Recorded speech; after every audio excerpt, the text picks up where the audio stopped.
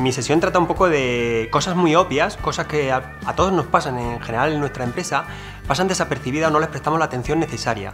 Y tratamos mucho sobre todo el tema de la parte lógica, de la parte financiera, de la parte de conceptos técnicos. Sin embargo, nos fijamos en algo tan importante como son las emociones dentro de una empresa. Y mi versión está basada un poco en señalar, destacar cuáles son las cosas que estamos haciendo para que esa emoción tenga una actitud positiva. ¿Cuál es la actitud que los empleados demuestran los días al hacer su trabajo?